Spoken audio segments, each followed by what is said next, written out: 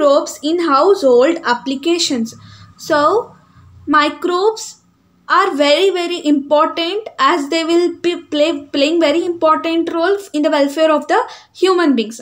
So friends, you will be very surprised to know that we use microbes and products derived from them every day. For example, production of curd from milk. So lactic acid bacteria.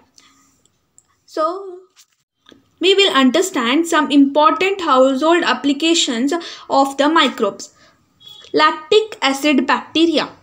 Microorganisms such as lactobacillus and others, commonly called as lactic acid bacteria, grow in milk and convert to curd. So, microorganism. Lactic acid bacteria is a microorganism commonly called as lactobacillus or as well as lactic acid bacteria. They will grow in milk, they will develop in milk and convert into curd. Basically, what happens? Milk is converted, uh, converted into curd in the presence of lactic acid bacteria. As simple. Okay bacteria LAB produces acids that coagulate and partially digest the milk proteins. So lactic acid bacteria that is LAB will produce this acid which will help in the coagulation as well as partially digesting the milk proteins which is very important for the production of curd. So then Small amount of curd that is added to the milk for curdling act as an inoculum containing thousands of labs which further multiply. So little amount of curd must be added as an inoculum. What is inoculum? Inoculum means starter. As a starter to the milk. So basically, basically curdling takes place to separate into curd. So uh, which contains thousands of lactic acid bacteria which again get multiplied. So a small amount of curd is added at the particular suitable temperature. Then LAB enhances the nutritional value of milk by increasing the vitamin B12. Lactic acid bacteria also increases the nutritional value of the milk by uh, by increasing the vitamin B12. Vitamin B12 is a nutrient that will help the body for the uh, as well as nerve cells. Lactic acid bacteria present in stomach prevents infection. So it will also help in preventing the infections. It also checks the growth of diseases causing microbes in the stomach okay? Quick recap of lactic acid bacteria. If you not understood it please listen carefully now so, microbes such as lactobacillus and others commonly called as lactic acid bacteria LAB will grow in milk and it will convert into the curd. So, during this growth, such, bact uh, such bacteria will produces Uh, lactic acid acids that coagulate and partially digest the milk proteins. Then a small amount of curd as a starter must be added to the milk and must be kept at the suitable temperature where lactic acid bacteria multiply in millions and converts milk into curd and that will also improve the nutritional quality by increasing the vitamin B12 and it also prevents the stomach infections. It also checks the growth of the diseases which causes microbes in the stomach which is very simple. Fermentation. Fermentation has the household applications. So first of all you should understand what is fermentation.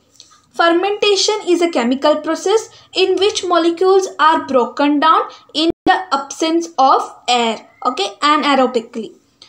Dosa and idli dough is fermented by bacteria which produces carbon dioxide gas and gives it a puffed up appearance. So basically dough is a mixture. It is a dough is a mixture. Look at the structure of a dough.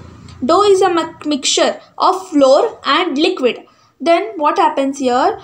Dough is mainly fermented by the bacteria yeast so it will produces the carbon dioxide gas and will give a puffed up appearance. The puffed up appearance is mainly due to the production of carbon dioxide gas where dosa and idli dough is fermented by the bacteria. Simple. Dough used for making breads is fermented by baker's yeast Saccharomyces cerevisiae. Okay, you have found that the uh, dough is prepared first to prepare the breads. So it is mainly fermented by the baker's yeast which is also known as Saccharomyces cerevisiae. Simple. So dosa and idli dough must be fermented by the bacteria which will produces the carbon dioxide gas and it will help in the puffed up appearance. Toddy, a traditional drink from South India made by fermenting sap from palm trees. So toddy is a traditional drink, drink which is commonly used in South India which is made by fermenting the sap from palm trees. One is cheese making as the household applications. So the bacterium Propionibacterium shermani is used in Swiss cheese to give it the characteristic holes by producing large amount of carbon dioxide. So the bacterium commonly called as Propionibacterium shermani is used in making Swiss cheese to give the characteristic holes. What are characteristic holes?